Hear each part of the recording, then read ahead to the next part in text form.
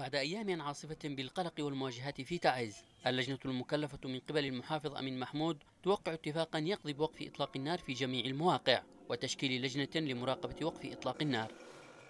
الاتفاق قضى بضبط العناصر المطلوبة أمنيا وتسليم كافة المقرات الحكومية لقوات الأمن الخاصة وقوات الشرطة العسكرية في المربع الشرقي في إطار خطة السلطة المحلية لبسط نفوذها على كافة المباني والمنشآت الحكومية في المدينة.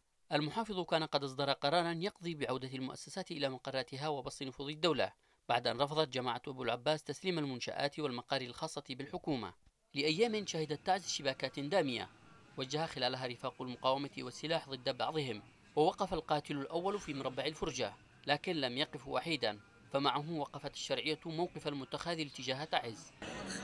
أيا تكن المواقف فتعز القطاع المنفصل كما قيل عنها تخوض معركتها منفردة. فلا تزال قيادة الدولة تتعامل مع هذه المحافظة بلا مسؤولية على المستوى السياسي والأمني. تعز التي حوصرت وانتصرت وحاربت وانتصرت تقف الآن أمام محاولة تفتيتها من الداخل وزرع أجسام غريبة عليها وكأنما لا يكفيها عدو واحد. فهل بات على هذه المدينة بعد كل هذه التضحيات أن يعود أبناؤها للقتال فيما بينهم؟ يراهن أبناء تعز على تجاوزات محنتهم لكن بعد الكثير من الخسارات.